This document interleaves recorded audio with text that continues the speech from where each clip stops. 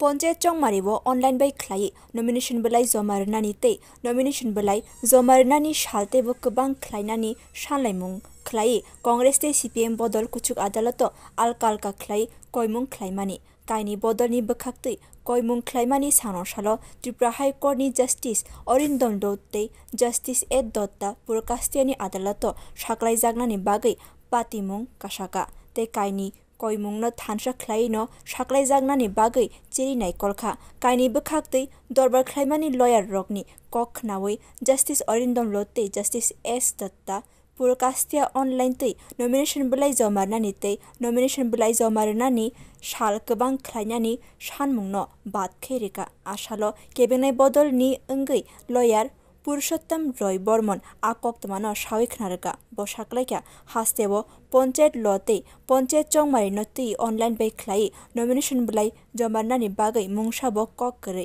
তে কুসুক আদালত গসমুং রেলিয়া যেহেতু আমাদের ত্রিপুরা পঞ্চায়েত আইন এবং পঞ্চায়েত নির্বাচন সংক্রান্ত বিধিতে অনলাইন নমিনেশন দাখিলের কোনো ব্যবস্থা নেই তার জন্য উচ্চ আদালত সরাসরি নির্দেশ দিতে পারেনি, কিন্তু উচ্চ আদালত এই পর্যবেক্ষণে আমাদের যে দাবি দাবি নৈতিক, যৌক্তিকতা স্বীকৃতি পেয়েছে এবং উচ্চ আদালত একটা অত্যন্ত প্রাণীধানযোগ্য মন্তব্য করেছেন ত্রিপুরা রাজ্যে পঞ্চায়েত নির্বাচনকে কেন্দ্র করে চলমান হিংসার পরিপ্রেক্ষিতে।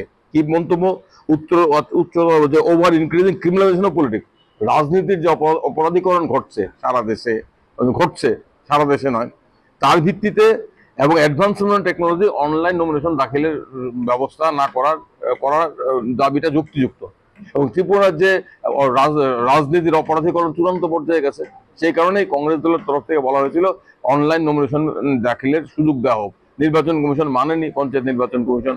এখন এর এই এই পর্যবেক্ষণের ফলে, আগামী নির্বাচনে অন্তত অনলাইন নমিনেশনের ব্যবস্থা হবে বলে আমরা বিশ্বাস করছি।